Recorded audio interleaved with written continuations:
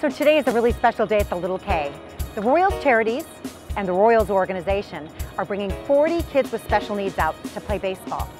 And a lot of times kids with special needs don't get the opportunity to play baseball like able-bodied kids. So today you'll see kids with autism, cerebral palsy, Down syndrome, a variety of special needs playing baseball together. But the highlight of today is that Variety is bringing out our portable harness system. Kids in wheelchairs will now be able to sit upright and stand upright and play amongst other kids. You'll see it for the first time here today. We absolutely love this clinic. We try to make it more fun each and every year. The kids get personalized jerseys, they get hats, they get snacks afterwards, and like I said, they get to hang out with professional baseball players. So it doesn't get much better than that.